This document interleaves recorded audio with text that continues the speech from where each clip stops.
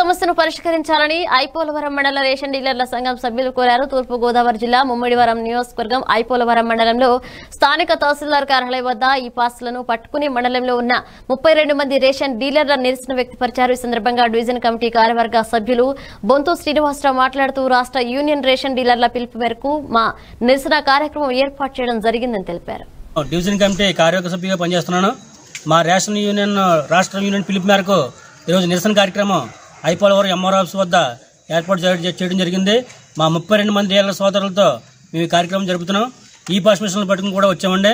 కారణం ఏంటంటే మేము గత పదమూడు విడతలుగా ఈ సివిల్ సప్లై గవర్నమెంట్ ఉచిత సర్వీస్ ఫ్రీగా ఇచ్చిన బియ్యము కందిపప్పు శనగలు ఇటువంటి కార్యక్రమం అంతా కూడా ఫ్రీగా సర్వీస్ చేసిన పదమూడు విడతల నుంచి కానీ పద్నాలుగు విడత వచ్చేసరికి గరసన మార్చడం జరిగిందండి. అది సిక్స్ పాయింట్ సెవెన్ గతంలో సిక్స్ పాయింట్ సిక్స్ అంటే ఆరు పాయింట్ ఆరు వెరసన ఉండగా చాలా సక్రమంగా జరిగేది. ఒక కార్డు వారు ఒక వేల ముద్రతో అన్ని సరుకులు తీసుకునేవారు.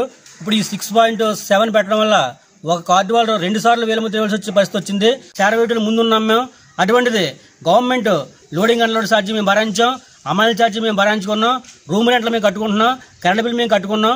కమిషన్ రెండు విడతల కమిషన్ వేశారు. పదమూడు విడతలు మేము సర్వీస్ చేస్తే పదమూడు విడతలకి రెండు విడతల కమిషన్ ఇవ్వడం జరిగింది. ఆ రెండు విడతలు కూడా ఎస్సీఎం గోడౌన్లో ఇచ్చారు. వాళ్ళు షుగర్ ఇచ్చారు తప్ప మాకు ఉపకారం లేదు. గవర్నమెంట్కే ఇలా ఇలా మగ్గు చూపి మేమంతా అంతా ఓట్లు వేయడం జరిగింది. మరి అందరినీ ఆదుకున్నట్టే మా డీలర్స్ కుటుంబాన్ని కూడా ఆదుకోవాలని మేము తెలియజేసుకుంటున్నాం.